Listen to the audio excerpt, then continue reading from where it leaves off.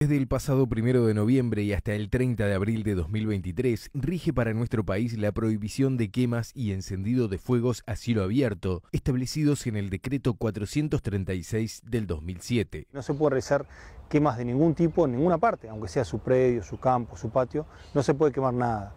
La persona que incumpla lo que está establecido en este decreto puede ser penado con multas o incluso con prisión.